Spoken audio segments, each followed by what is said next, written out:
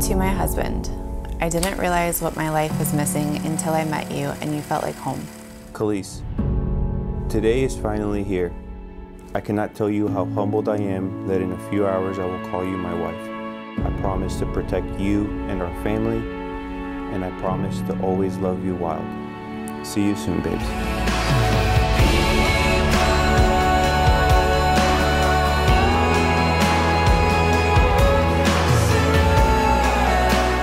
You are everything that I've ever hoped for and prayed for, and I can't wait to do life with you as my husband. Whatever souls are made of, yours and mine are the same.